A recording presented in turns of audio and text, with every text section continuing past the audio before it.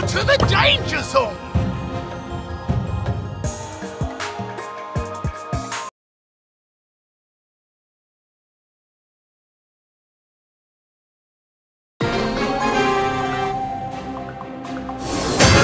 Time to start the Try some snake oil extract.